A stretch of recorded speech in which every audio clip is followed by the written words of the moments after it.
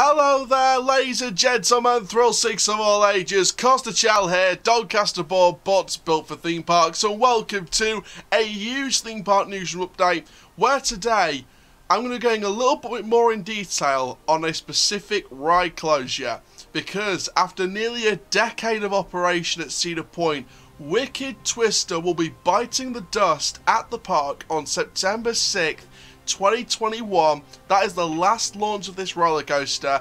I'm going to talk to you guys about this article from a specific news site and share my thoughts and predictions on future replacements and the surrounding area.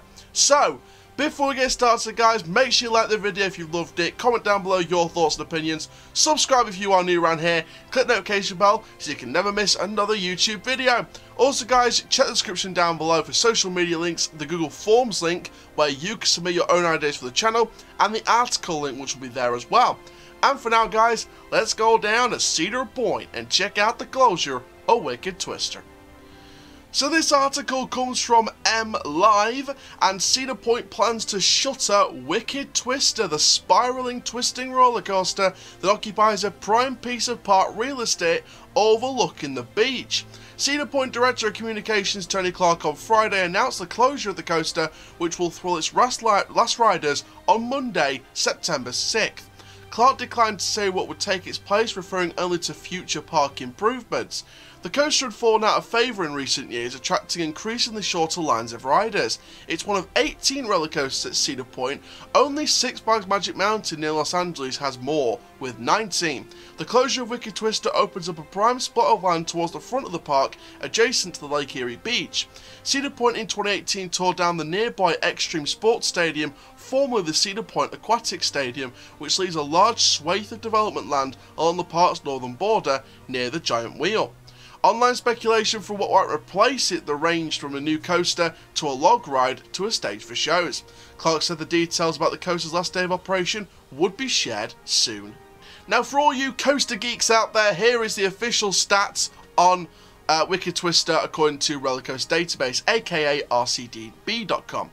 Wicked Twister is a twist and twist 66 meter model impulse coaster by Intamin Amusement Rides, having a height of 215 feet with a drop of 206 feet with a speed of 72 miles per hour and 90 degree vertical angle with a multi-pass LAM launch and two twisted vertical rollbacks the trains are arranged with a single train of 8 cars, riders arranged 2 across in 2 rows for a total of 32 riders, at a cost of US dollars 9 million and a capacity of 1,000 riders per hour.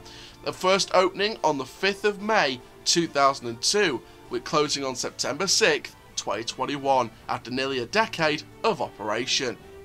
So let's now talk about the future of this site. Now, as you can see on your screen right now, I've got one of three variations of what could be happening with the nearby site. Now, this one takes up the Tiki Twirl, the Troika, the old Aquatic Stadium, which of course the old sports arena, and Wicked Twister. And it sort of goes near towards Windseeker, but it doesn't take up the Windseeker plot of land or the giant wheel because this potential development and this potential uh, site reconfiguration only includes the rides included in the box, so the giant wheel won't be included, and as part of this particular reconfiguration of the site, the giant wheel would have to be repainted and rethemed of course. So what could be going in this plot of land if this is the kind of area they're using to take up? Now, if it's just this particular area, I could see a couple of different possibilities. One possibility could be a multi-launch shuttle coaster by Gerstlauer or Gerstlauer. Now obviously we know the Mystery Gerstlauer project is going to Glenwood Caverns with Defiance. Uh, now, why do I think Gerstlauer though? Well, I think Gerstlauer could still be a wonderful manufacturer for Cedar Point, and I think it's a manufacturer I think is a long time needed. Now, in terms of what I'm thinking ride-wise, in terms of comparisons, you know, you know the NBA draft when they used to like compare the draft prospects when they're drafted to like current players into sort of you know similar players. We're sort of comparing rides here. So for a multi-launch shuttle coaster by Gerstlauer or Gerstlauer, what do I think is similar to in terms of what I'm thinking with this? I think something like Fury at Bobbejaanland could be great for this site. It's a multi-launch. It's it's perfect for the confined space of the park. It replaces the launch that Wicked Twister had, and I think it would be a wonderful investment either way. Now, something a little bit further down on the thrill level, but still something quite thrilling, and something that will replace Wicked Twister as an inverted coaster, is the Vekoma Suspended Thrill Coaster. Now, I wanted to see Vekoma work with Cedar Point and Cedar Fair Company for a long, long, long, long, long while now. And I personally feel like this could be the real opportunity. And I think the STC is a great fit because it replaces the inverted coaster void left by the exit of Wicked Twister. Obviously, we still have Raptor, which is the B&M invert, uh, but the Wicked Twister is a two across invert. So I'm guessing that be, it, it, it, would be nice to, to see another two across invert replaced there. And especially with the STC, you know, throwing a couple of inversions, this is like a perfect sort of I wouldn't say family thrill, but it's like the right level of thrill before you get to the extreme thrill levels. So it's like the right level of thrill. It's sort of in between family thrill and extreme thrill and a mixture of both. So I think it would work very, very well for Cedar Point's favour if they work with Vekoma with the STC, especially Vekoma itself. Vekoma is a wonderful manufacturer to work with. The third possibility for this particular site is again a concept that's very, very compact, and they could do something quite spectacular here. And that is, of course, uh, some kind of compact launch coaster by Intamin or S&S. Now, of course, we see Max Force at Six Flags Great America. We know how much success that could be in the future and how successful it is now. Now, I think something similar to that could be very, very good, or Intamin could even do a concept version of that. And they have done the LSM concepts, the newer LSM concepts in the last 12 months, and released them in the last 12 months. So I do think that Intamin could be involved in this instead of S&S, but we'll see what happens.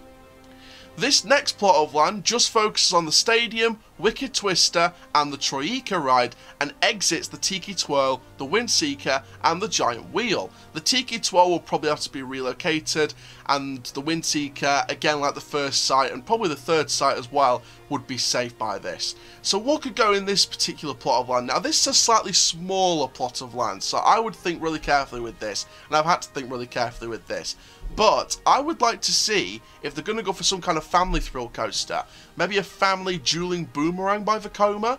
That could be a wonderful fit, and I think a family dueling boomerang would give you some nice dueling elements, especially if you're sort of dueling on the beach. And I don't think it would mind if Cedar Point got a family coaster or some kind of family thrill coaster, because, you know, look at the last few coasters they got, Valravn, Steel Vengeance, very much extreme thrill coasters, so I think that a family thrill coaster would be a great fit for that beach side, especially when you've got the, the, the extreme thrill coaster Gatekeeper right near it, and the thrill ride Windseeker the other side. So I think that a family boomerang, especially a dueling one to make it a bit more unique uh, to the States, uh, would be a great fit.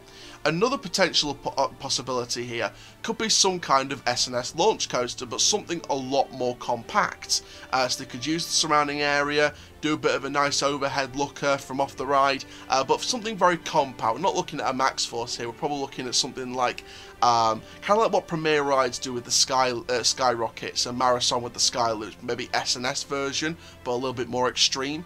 So I think something quite compact would work very well here. Of course, Gerstlauer could go down the hang time route and invest in some kind of hang time type coaster for that beach area, for that boardwalk style area, and sort of revamp that whole area of the park. So I think, again, that could be a, a really nice possibility. Some kind of hang time infinity coaster with a beyond vertical drop. And it could do really well because, of course, you know, it isn't out of the realms of possibility to have a park which has a, a, a dive coaster and a beyond vertical drop coaster. But uh, I think it's just one to sort of throw in there as a possible bonus uh, for this particular plot of land. Finally, plot of land number three, and this includes uh, Wicked Twister, the stadium, the Troika. It excludes Tiki Twirl, which again, that'll be relocated as part of the development. The giant wheel stays again. But then you include this. Now, this plot of land at the side includes three attractions the Dodgems, Max Air, and the Kiddie Kingdom area. Now, the Kiddie Kingdom area, in my opinion, is irrelevant now that they have uh, Planet Snoopy. The Dodgems is a classic attraction, you know, it's not a high capacity ride, it's not a highly popular ride for thrill seekers, it won't exactly be missed, you know, compared to other rides. And Max Air, now we've heard reports about Max Air that it hasn't been operating this season, could Max Air be going as part of the development and then maybe somewhere down the line in the future Cedar Point invest in a new frisbee ride elsewhere in the park uh, to make up for the loss of Max Air? And I think that would be a very smart thing to do in my opinion. Invest in like a gyro swing by Intamin or uh, a Zamperla Giant Discovery elsewhere in the theme park to uh, make up for the departure of Max Air. But use the Kiddie Kingdom, the Dodgems and the Max Air area involved in the Troika, the Stadium and Wicked Twister, and not even just including the Tiki Twirl plot of land if Tiki is relocated or removed as well. What could go down this particular re reconfiguration of the land? There's a couple of different possibilities here, one of which is a Gerstlauer. Again, people are talking about, even though there's the Mystery Gerstlauer project with Glenwood Caverns and Defiance for next year, you know, there's still talk of maybe the 15 inversion roller coaster from Gerstlauer uh, being the mystery project. It would be interesting to see a 15 inversion roller coaster, however, I really don't think that's a possibility. I do think that uh, the Smiler will still have the inversion record for quite a long time to come. Um, so I think if they're going to do anything from Gerstlauer in this particular reconfiguration of the land, I would like to see again the, the Infinity style coaster, a hang time style coaster with a beyond vertical drop, focus on the sereneness and the landscaping of the area and how it would um, collage together with the landscaping and the design of the area. Um, rather than the coaster layout being too extreme. So I think that a hang time style coaster again would work very very well. But another piece of um, coaster development that could happen here is the possibility of the introduction of the T-Rex or the largest kind of raptor. Now, the largest kind of raptor is a fallback option in case the T-Rexes aren't ready for release of development just yet. Now, the lot, now the lot, obviously we don't know exactly the largest the raptors can go, however there's no limits to where the raptors could go. So I would like to see something like a Jersey Devil style um, train capacity but a longer layout. So it would be the world's tallest, tallest longest fastest single rail coaster. Um, it wouldn't reach the same heights the T-Rex would, uh, would, would reach but I think it would come close. Now, obviously that is the option if the T-Rex aren't ready for development, but if the T-Rex is ready for development by the time this thing opens, it'd be interesting to see if they go with that. Now, the final option could be the Axis Coaster, a new piece of machinery overlooking the boardwalk. Now the Axis Coaster should be ready for development hopefully in the next few years, in the next couple of years, which is around the time where I think this will open, which is around 2023 or 2024. Now, obviously, it's going to be very interesting to see uh, if the Axis Coaster and how the Axis Coaster layout would work in the boardwalk area. Uh, but I think it should be a very interesting discussion if an Axis was to be where Wicked Twister is located. So that's three different refigurations of the point of land, and now let's just summarise this particular video. So there we are ladies and gentlemen, thrill seekers of all ages, that is a bit of discussion on the future of the site of Wicked Twister. But of course there's one thing we've got to sort of brace ourselves for before we talk about discussions on potential replacements in the next couple of years for 2022 or 2023, my best guess 2023. And that is of course September 6th, 2021, the last launch, the final day of Wicked Twister at Cedar Point. Now one last thing I need to discuss before we end this video and wrap it up is where I think Wicked Twister is going.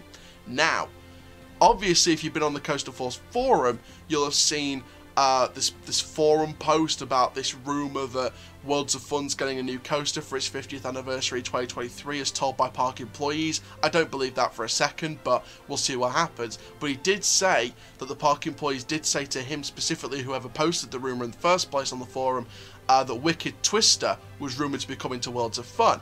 Now, with the closure of Wicked Twister at Cedar Point, it sort of starts making you think, is there a little bit of truth in that? So, we'll see what happens with all that. But, I, I mean, Worlds of Fun would be a great location for this coaster.